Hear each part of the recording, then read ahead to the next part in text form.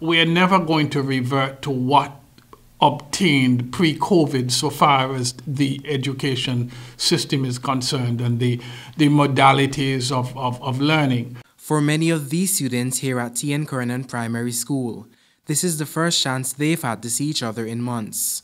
Schools closed abruptly back in February as authorities grappled with rising infections attributed to the holiday season. With infections on the decline, Director of Education Clare Browne believes it is once again safe enough for face-to-face -face instruction. We got an opportunity to have our education. We want our children and young people to have the opportunity to. There's life after COVID. The challenges faced by students to access virtual learning, he says, underscore the need for the return to the physical classroom. Every time we shut the doors, then children end up in a remote learning uh, place.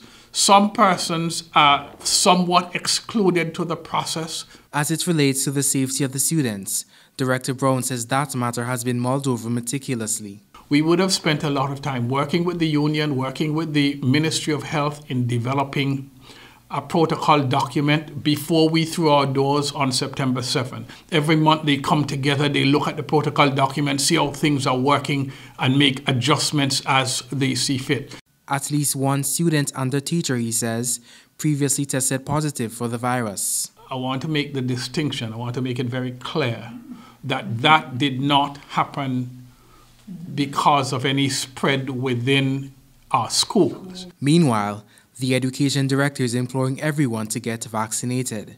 Herd immunity, he says, should remain a priority. The actions that we take will determine whether schools will keep their doors open and the young children of the nation will continue to re receive an education. Rakib Aparicio reporting for ABS News.